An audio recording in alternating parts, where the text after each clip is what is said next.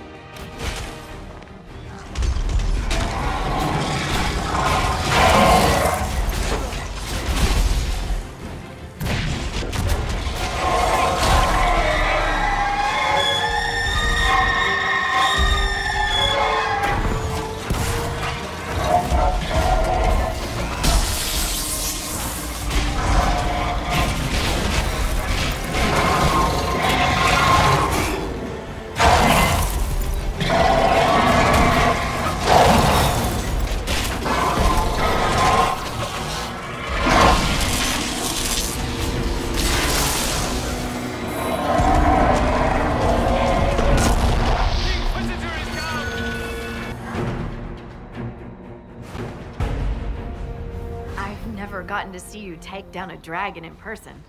Corypheus had a dragon. You were there when I killed him. No, I was below when you killed him. Hard to get a good view with a floating mountain in my way. I must say, it's fun to see it up close.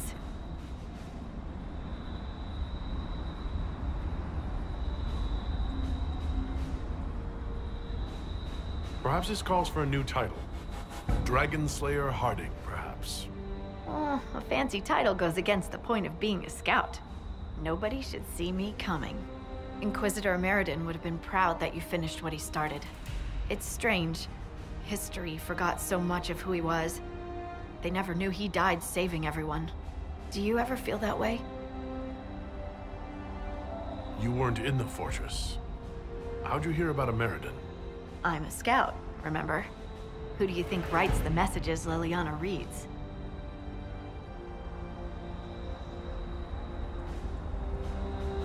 There are things they don't understand.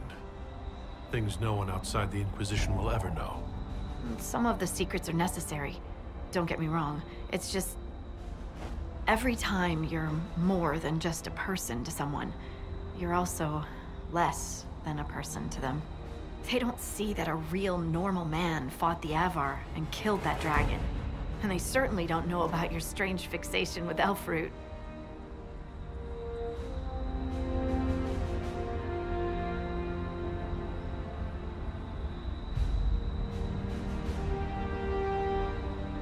My feelings for Elfroot are classified, Scout Harding. I'll carry your secret to my pyre. For what it's worth. Nice work, Trevelyan. Anyway, I'll be at camp if there's anything here you want to finish up. Otherwise, see you at Skyhold.